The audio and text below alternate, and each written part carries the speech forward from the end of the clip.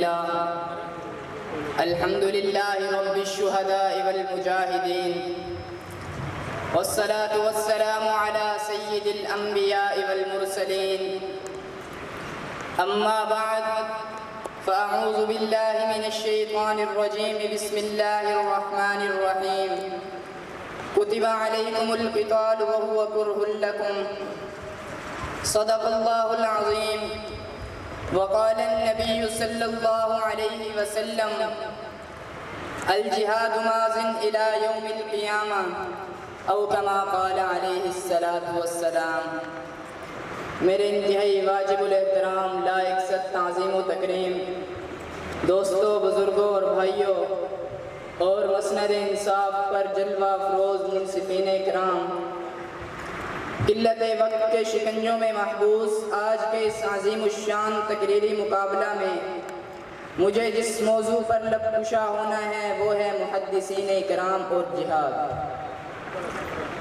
सामीन मोहतरम, जिहाद दीन इस्लाम की रूह है।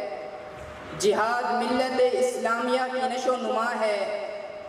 जिहाद ही वो जज्बा है जिससे सरशार होकर मुसलमान बड़ी से बड़ी ताबूती ताकत से टकरा जाता है और उसे पाश पाश कर देता है।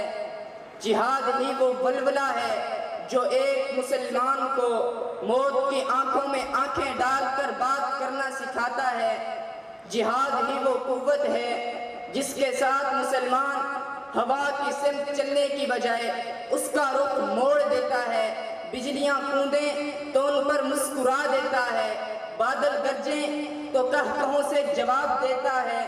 दीगर अहकामात इलाही की अजमत और रिफत का इनकार नहीं।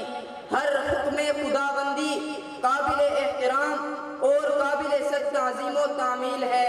मगर इश्को वफा का जो मंजर जिहाद फ़ी सबीलिल्लाह के रूपरवर मंजर में नज़र आता है, वो किसी दूसरी इबादत में नज़र नहीं आता। कौम मुस्लिम एक लम्हा के लिए भी जिहाद के बगैर नहीं रह सकती। जिहाद के बगैर नए नए फितने जन्म लेते हैं। झूठे खुदा और झूठे नबी पैदा होने लगते हैं। ताकतवर कमजोरों के गले काटने लगते हैं। उमरा गरीबों का खून चूसने लगते हैं। खुदा की ज़मीन पर जुल्म बरबरीत की ऐसी होलनाक आग लग जाती है कि इंसानियत चीख उठती है। इसीलिए नबी आखिर जमा महबूब रब दो जहान ने सिर्फ़ जुबानी जिहाद का दर्श नहीं दिया, बल्कि बातिल को अमली तौर पर मैदान कारजार में ललकारा भी। कभी बदर के मैदान में तो कभी अहद के दामन में, कभी खैबर की सरजमीन में तो कभी तबूक के लालाजार में। नबूवत के रहमत वाले हाथों ने शमशीर उठाई, यहाँ तक के जिरा तन फरमाई, कठिन सफ़र किए, अल गर्ज अपना मुकद्दस और मुबारक खून मैदान जिहाद में बहाया।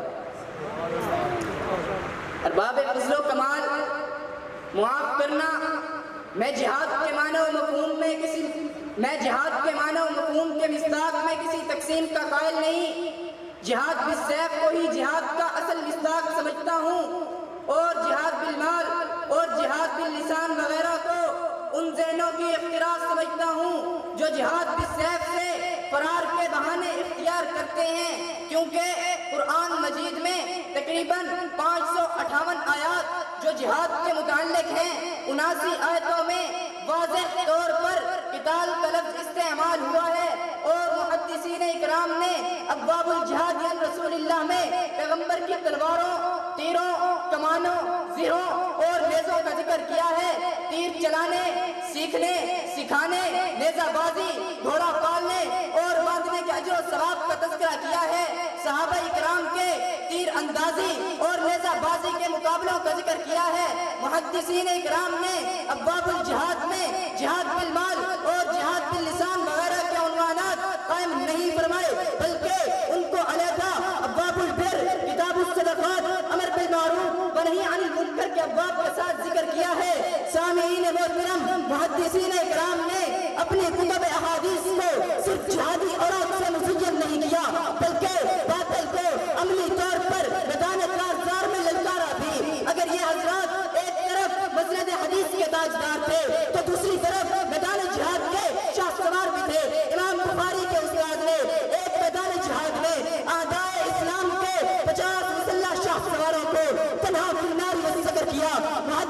मुहद्दिस मुजाहिद करीम हज़रत अब्दुल्ला बिन मुबारक एक तरफ़ मुमिनीन की हदीस थे तो दूसरी तरफ़ मुमिनीन फिल जिहाद थे।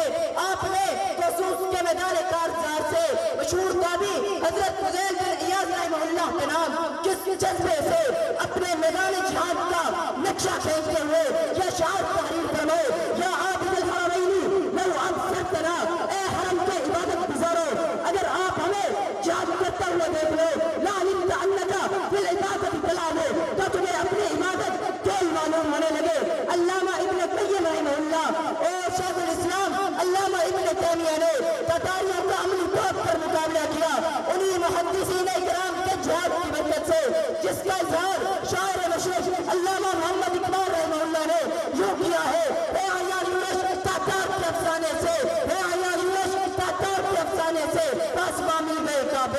के सनम से बड़े सगीर में उस्ताद हज़रत शाह वलीजुल्लाह शाह अब्दुल अज़ीज़ और आपके खानवादों ने अंग्रेज़ों, सिखों और मरहबों के खिलाफ जिहाद किया।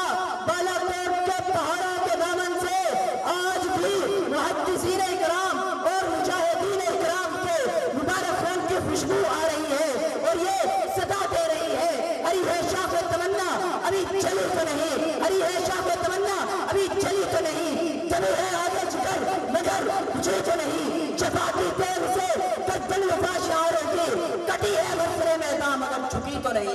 वाखिर दावाना अनिल रब्बिल आलमीन।